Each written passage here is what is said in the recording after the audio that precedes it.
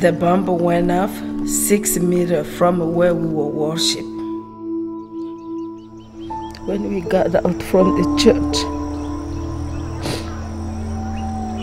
it was like I got lost. I didn't know where to go. Everything we had in the house, the soldier, they loot everything.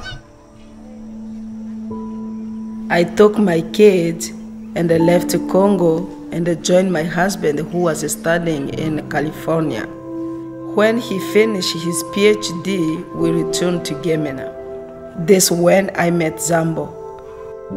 Zambo's parent had died, and I was a mother far from my kids. We cared for each other. Before long, we had 25 children sleeping in our living room we would need to build them a house. Children come to us after losing their parent to age, being neglected by relatives.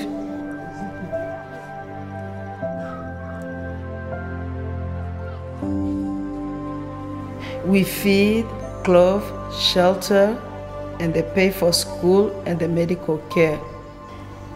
But most importantly, we love. This is a place to call home.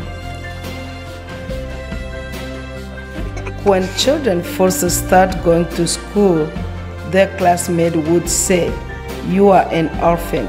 You beg for food.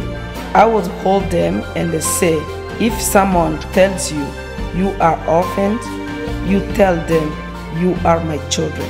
I used to have five kids. Now I have more. My dream for all of them they can have they, they can be a somebody in our community or in our country